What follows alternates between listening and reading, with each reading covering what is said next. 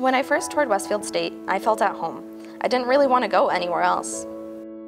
I chose criminal justice because I knew things within the field needed to change and I wanted to be a part of the solution.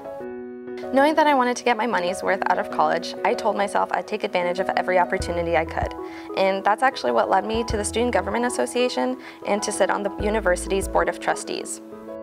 As the student trustee, it's been rewarding to see the board turn to me to share the pulse on campus.